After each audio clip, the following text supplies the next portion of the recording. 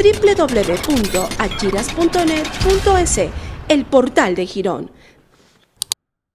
Porque no sé por qué será, si es la casa de mi hijo, que estoy de mi hija aquí, de aquí en la tienda comprando y paro siempre el carro aquí porque es la vereda de mi hija.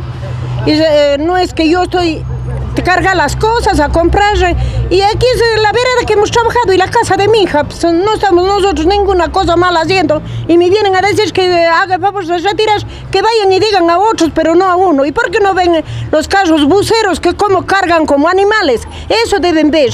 Mi, opinión fuera de que se llegue a un consenso, un diálogo con las autoridades, todos los de eh, aquí la gente que, que estamos en este en esta parte que vean dándonos una solución, porque tenemos nosotros también nuestros almacenes, nuestros comercios y necesitamos que los carros tengan que parar un cierto tiempo, que no tenga que pasar más el carro para poder vender, para poder trabajar, para poder estar de acuerdo con todos, sin, sin ninguna pelea, sin ninguna cosa. Que lo que queremos es que nos respeten y nosotros también para respetarles.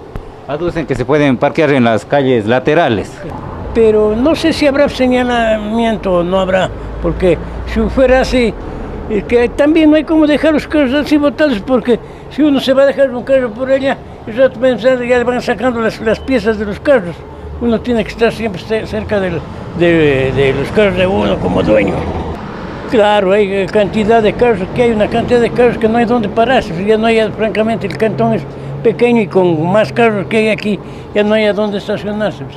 Lo mismo, las camionetas ya deben tener su parada, todas las camionetas en, un solo, en una sola parte, las camionetas de fletes, para que sea como, como se hace en, un terminal, así de que puedan salir todos, estar todos unidos ahí. Porque están regados en todo, en todo, todo Girón están regados. Las, las cooperativas, los eh, restos de camionetas, de fletes, de todo.